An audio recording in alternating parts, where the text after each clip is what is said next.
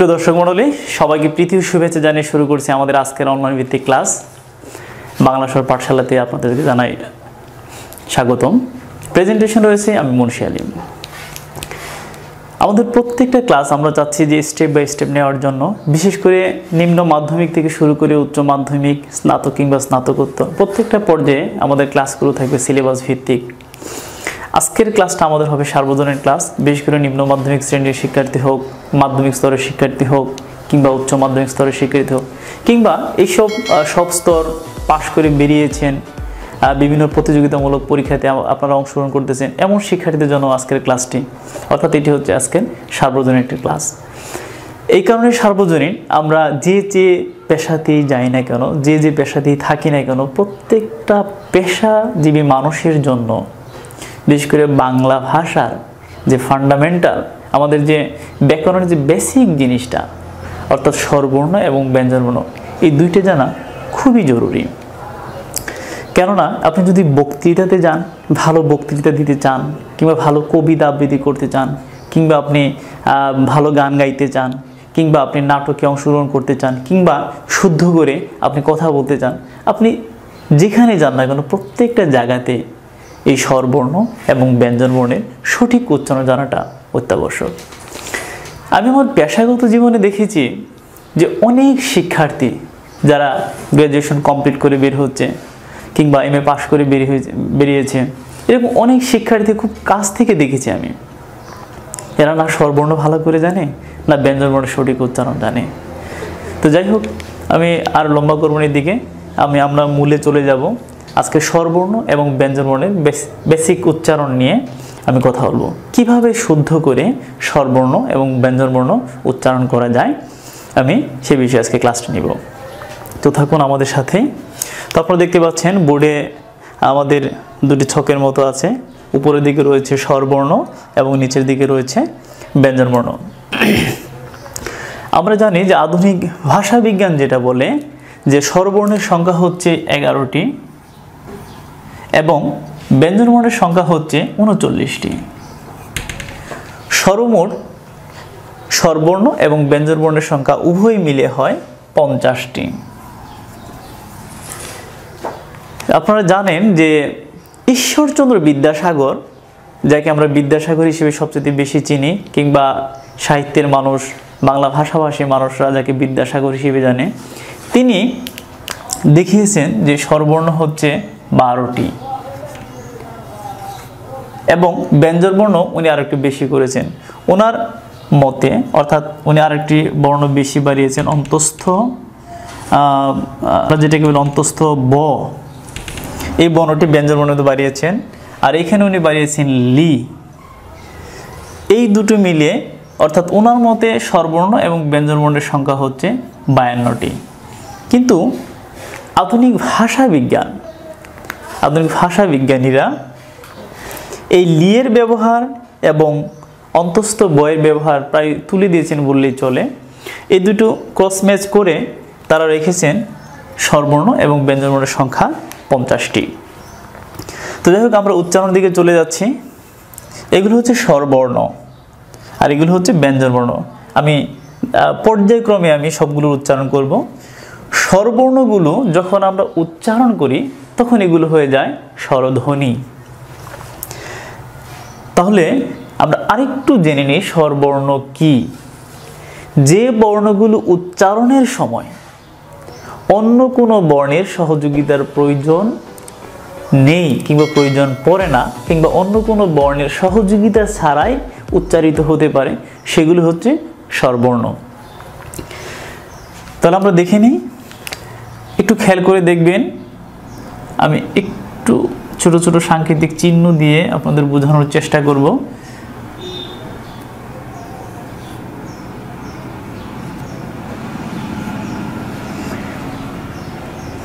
আপনারা দেখতে পাচ্ছেন, উপরে আমি ছোট ছোট প্রায় ডিমের মতো করে আমি দিয়েছি। এগুলো আমাদের উচ্চারণ উচ্চারণ সুবিধার্থে এই ডিমগুলো আমাদের কাজে লাগবে। আমি বলছিলাম এগুলো হচ্ছে স্বরবর্ণ এবং একই সাথে এগুলো হচ্ছে স্বরধ্বনি। বাংলা ব্যাকরণের অনেক বৈয়াকরণরা, অর্থাৎ অনেক ব্যাকরণবিদরা তারা মনে করেন যে এই দুটোর উচ্চারণ, আমি আগে বলছিলাম, এগুলো হচ্ছে স্বরবর্ণ, একই সাথে স্বরধ্বনি। যেহেতু স্বরবর্ণ এবং স্বরধ্বনি, যেহেতু স্বর, এই কারণে এগুলোর উচ্চারণ হবে, এটার উচ্চারণ হবে স্বরীয়। এটার উচ্চারণ হবে সরেয়া একটু উচ্চারণের জন্য আমাদের বাতাস মানে ভেতর থেকে ফুসফুস তাড়িত বাতাস খুব আমাদের কম বের হয়। তুলনামূলক এইটা উচ্চারণের জন্য ভেতর থেকে ফুসফুস তাড়িত বাতাস একটু বেশি বের হয়। এই কারণে এটার উচ্চারণের জন্য আমরা একটু সময় নেব বেশি। তুলনামূলক এইটা উচ্চারণের জন্য আমরা একটু সময় নেব কম। আমি আবার বলছি, সরেয়, সরেয়া তো যেটা বলতেছিলাম, বাংলা ভাষার অনেক ভাষা তত্ত্ববিদরা, বাংলা ভাষার অনেক বৈয়াকরণরা অর্থাৎ ব্যাকরণবিদরা, তারা মনে করেন এগুলাকে সরেয় এবং সরেয়া বলা যাবে না। তাহলে প্রশ্ন কি বলা যাবে? যদি সরেয়া এবং সরেয়া বলা না যায়, তাহলে কি বলতে হবে? তাদের কথা হচ্ছে, এগুলো হচ্ছে সবগুলো স্বরধ্বনি স্বর। যেহেতু স্বর, সেহেতু উচ্চারণ করতে হবে অ, আ। তাদের দৃষ্টিভঙ্গি। কিন্তু সার্বজনীনভাবে বেশিরভাগ মতামত হচ্ছে এখন আমরা ওইটাই মেনে নিচ্ছি। সরেয়, সরেয়া। পরবর্তীতে আমরা যাচ্ছি। এই দুইটাই হচ্ছে ই ধ্বনি। একটা হচ্ছে রস্য এবং একটা হচ্ছে দীর্ঘ। এটা যখন আমরা পড়ব, তখন আমরা মানে আমাদের ফুসফুস তাড়িত বাতাস, মুখ বিবরের ভিতর দিয়ে অর্থাৎ খুব কম বাতাস বের হবে। আর এটা যখন পড়ব, তখন আমরা একটু প্রেস করে আমরা একটু দীর্ঘ সময় নিয়ে, একটু বেশি সময় নিয়ে আমরা উচ্চারণ করব। রস্যই দীর্ঘই একইভাবে আমরা এই দুটো উচ্চারণ করব। রস্য দীর্ঘ আমি একটু লিখে দিচ্ছি বোঝার সুবিধার্থে। এটি হচ্ছে রস্য। রস্য মানে হচ্ছে কম, ছোট, স্বল্প দৈর্ঘ্যের। আর এটি হচ্ছে দীর্ঘ। অর্থাৎ এটি রস্য, এটি হচ্ছে দীর্ঘ। দুইটাই ই, আমরা রস্য বলার পরেই বলব, দীর্ঘ বলার পরেই বলব। এটা কম সময় নেব, এটা একটু বেশি সময় নেব। এটা কম দৈর্ঘ্যের এবং এটা হচ্ছে একটু বেশি দৈর্ঘ্যের। আবার বলছি রস্যই দীর্ঘ ই। একইভাবে আমরা এটা করব। রস্য দীর্ঘ উ। এটি হচ্ছে রি। রি নিয়ে অনেকটা বিতর্ক রয়েছে। এটি আসলে স্বরবর্ণের অন্তর্ভুক্ত থাকার যোগ্যতা আছে কিনা এই নিয়ে অনেক মতো পার্থক্য রয়েছে। যেহেতু এটি লিখতে বা উচ্চারণ করতে র এবং ইর দরকার হয়, আপনারা খেয়াল করে দেখুন, র যুগ ই সমান হচ্ছে রি। যেহেতু ব্যঞ্জন বর্ণের সহযোগিতা লাগে, র তো ব্যঞ্জন বর্ণ। যেহেতু ব্যঞ্জন বর্ণের সহযোগিতার প্রয়োজন হয়, অতএব এটি সর্বর্ণের অন্তর্ভুক্ত হতে পারে কিনা বিষয়টি আপনাদের কাছে বিচার্য থাকল। তো আমার ধারণা কোনো এক সময় এই রিটা ব্যঞ্জনবর্ণ থেকে মানে মানে বাদ পড়ে যাবে। যেহেতু আমরা বলেছি যে বর্ণ অন্য কোনো বর্ণের সহযোগিতা ছাড়াই উচ্চারিত হতে পারে বা উচ্চারিত হয়, সে বর্ণগুলি হচ্ছে স্বরবর্ণ। তাহলে সেই দৃষ্টিকোণ থেকে রিকে কিন্তু আমরা কোনোভাবেই স্বরবর্ণের অন্তর্ভুক্ত করতে পারি না। যাই হোক, পরবর্তী আমরা যাচ্ছি।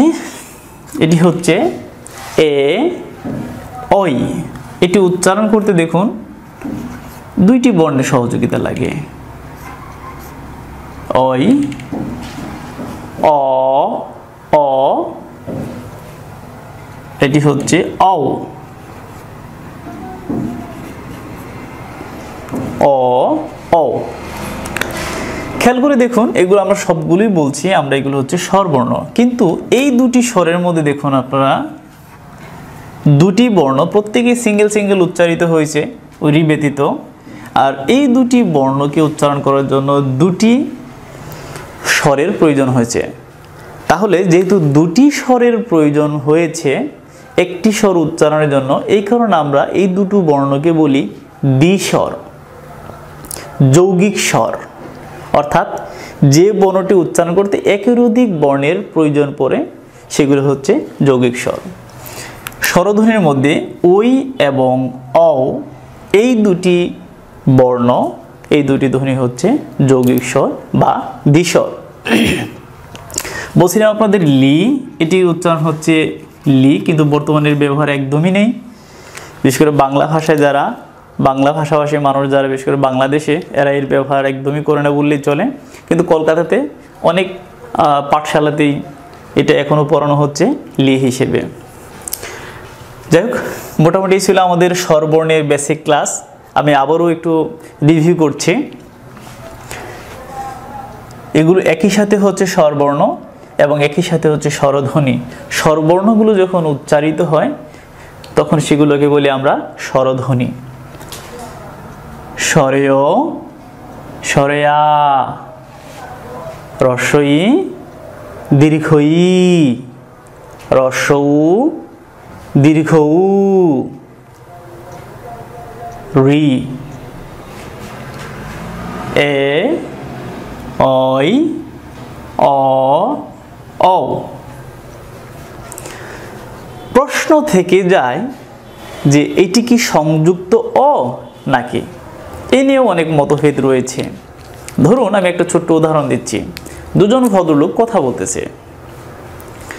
তো একজন বলল যে বিষয়টিকে আপনি বুঝেছেন? সে হলো ও, বিষয়টি বুঝেছি। আমরা কখনোই বলি না সংযুক্ত ও বিষয়টি বুঝেছি। তাহলে বোঝা যাচ্ছে ব্যবহারিকভাবে আমরা এটাকে কখনো সংযুক্ত বলি না। এটাকে আমরা অ হিসেবেই ব্যবহার করে থাকি। চলে যাচ্ছি আমরা ব্যঞ্জন বর্ণে। আপনাদের বলছিলাম ব্যঞ্জন বর্ণ হচ্ছে উনচল্লিশটি এবং ঈশ্বরচন্দ্র বিদ্যাসাগরের মতো মতে এটি হচ্ছে চল্লিশটি।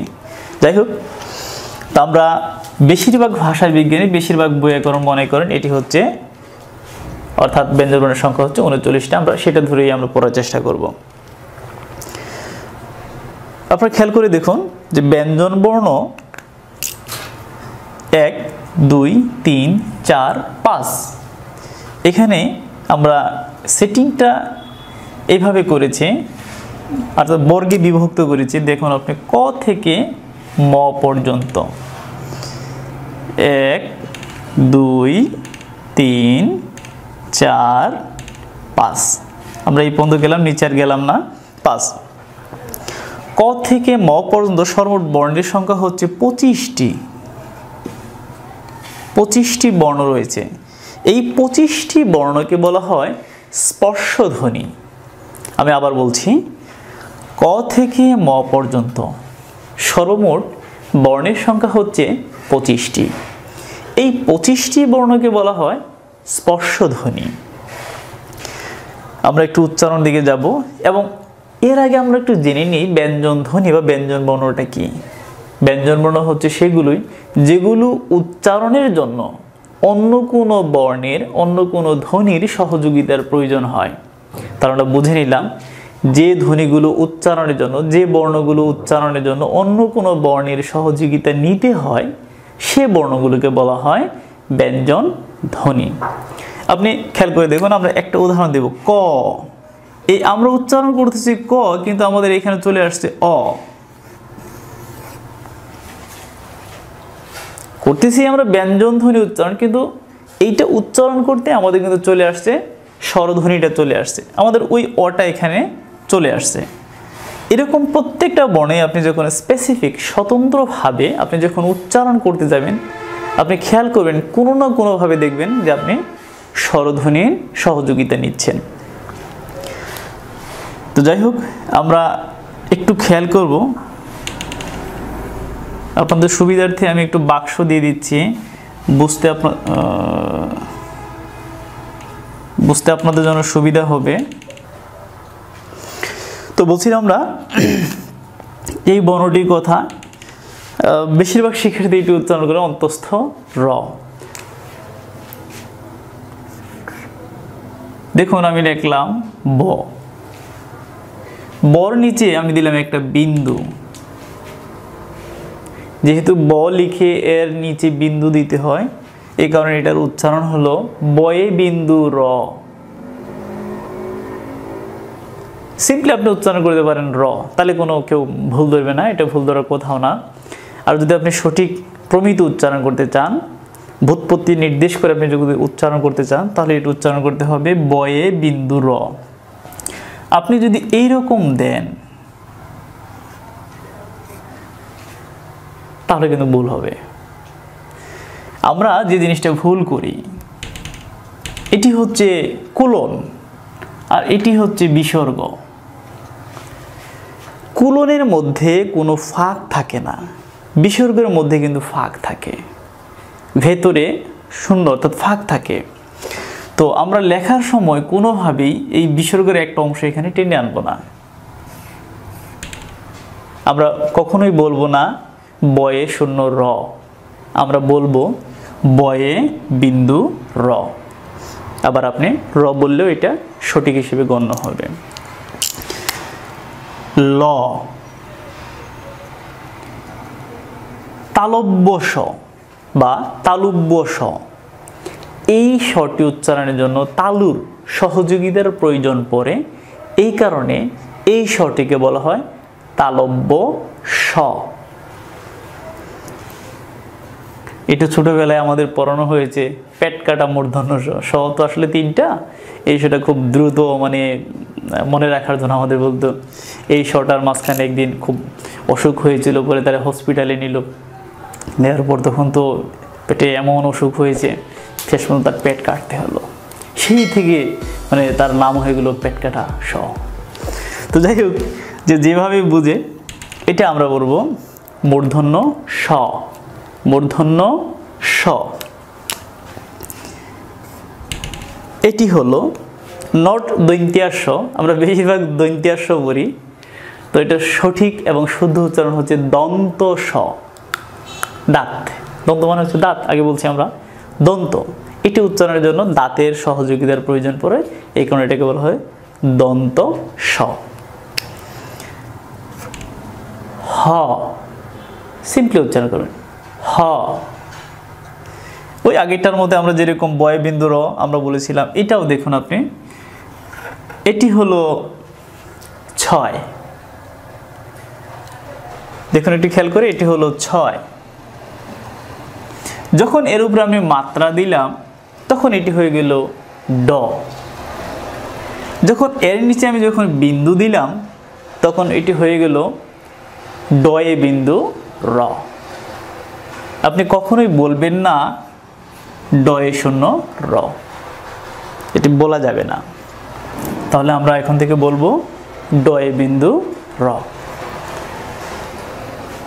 একইভাবে আপনি দেখুন, এটি যেহেতু মহাপ্রাণ ধ্বনি, এই কারণে এটি উচ্চারণ করতে হবে। আপনি দেখুন, ঢ। আপনাদের মনে আছে কিনা? আমি আবার নিয়ে যাচ্ছি। দেখুন, মহাপ্রাণ ধ্বনির মধ্যে এটি পড়েছে। আমরা উচ্চারণ করেছিলাম এটি ঢ। যেহেতু একটু প্রেস করে উচ্চারণ করেছিলাম এবং এটি মহাপ্রাণ ধ্বনির মধ্যে আছে। এই কারণে আমরা এটা এখন একটু প্রেস করে উচ্চারণ করব। ঢয়ে বিন্দু র। ঢয়ে বিন্দু র। এটি তারঞ্জার ধ্বনি। ওইটা আমরা ধ্বনিতার থেকে আরেকদিন আরেকটা ক্লাস নেব। অন্তস্থ অ। আমি আরেকবার রিভিউ দিচ্ছি এই তিনটা। দন্তস, হ, ডয় বিন্দু, র, ঢয় বিন্দু, র, অন্তস্থ, অ। এটিকে আমরা বলব খণ্ড। কি বলব? খণ্ডত। এর উচ্চারণ হবে এইরকম। খণ্ডত। এটা বলব আমরা অনুসার। অনুসার। বিসর্গ। চন্দ্রবিন্দু। বিসর্গ, চন্দ্রবিন্দু। বাংলায় এই তিনটি বর্ণকে বলা হয় পরাশ্রয়ী বর্ণ।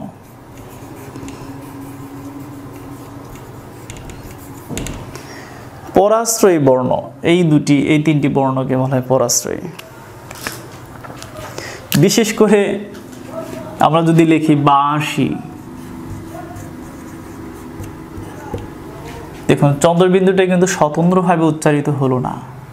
সে আরেকটার মানে মাথার উপর উঠে সে তার সাথে সম্পর্ক স্থাপন করে সে উচ্চারিত হলো। এই কারণে এটি আসলে অনেকটা স্বতন্ত্র বর্ণ হিসেবে অনেক বৈয়াকরণরা বা ভাষা বিজ্ঞানীরা একে স্বীকৃতি দিতে চান না। এই কারণে এই বর্ণগুলোকে বলা হয় পরাশ্রয়ী বর্ণ। এই বিসর্গ উচ্চারণ, আমরা বলছি এটি হচ্ছে বিসর্গ। দেখুন। এটি যে বর্ণের সাথে থাকুক না কেন, যেমন